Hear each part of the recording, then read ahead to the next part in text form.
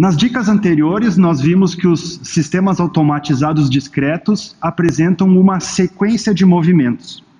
E se a gente está falando de movimentos, nós vamos ter invariavelmente a presença de um efeito físico chamado de inércia.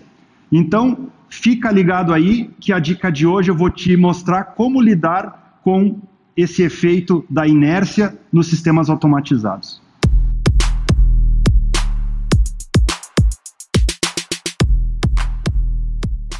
A inércia é uma propriedade que os corpos têm de resistirem à ação da aceleração ou da desaceleração. Um corpo, quando parado ou em movimento, tem a tendência de manter-se neste estado.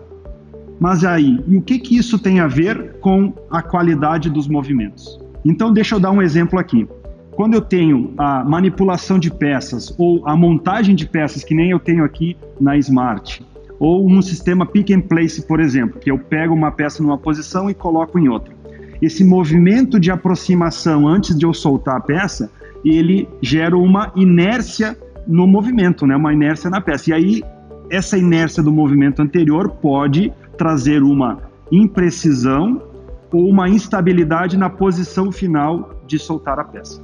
Outro ponto a ser considerado é a posição dos sensores de fim de curso. Por exemplo, aqui no cilindro, se a posição deste sensor está montada antes do final do curso, quando o cilindro deslocar, vai dar o sinal no sensor e o sinal do sensor vai liberar o próximo movimento.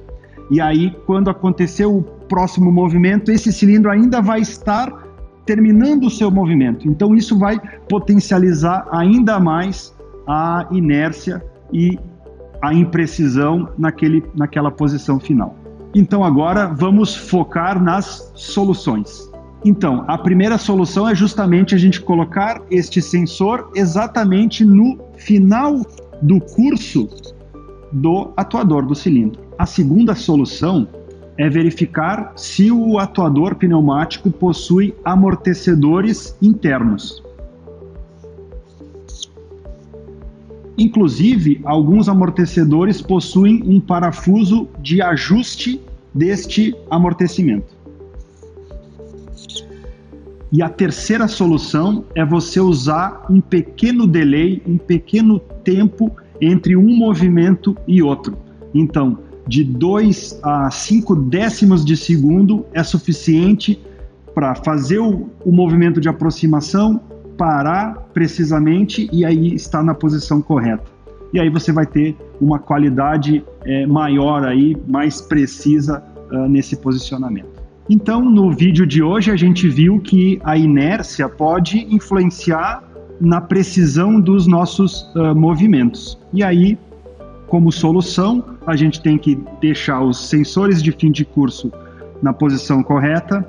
A gente pode utilizar atuadores com o sistema de amortecimento interno e também no software, né, dar um pequeno delay entre um movimento e outro, 2 a 5 décimos de segundo.